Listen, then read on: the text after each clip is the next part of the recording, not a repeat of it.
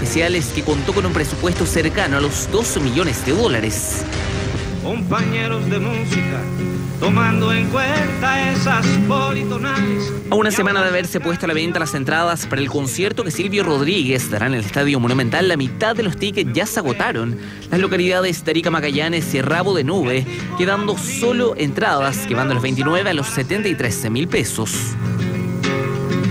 La canción de este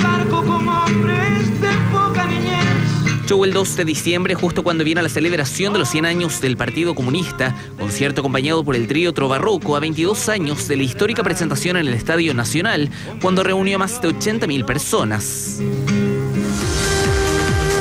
Con una peluca y aprovechando la visita de Lionel Messi en Argentina para pasar desapercibida, Madonna habría visitado Buenos Aires de incógnito para supervisar los detalles de su show en el Río.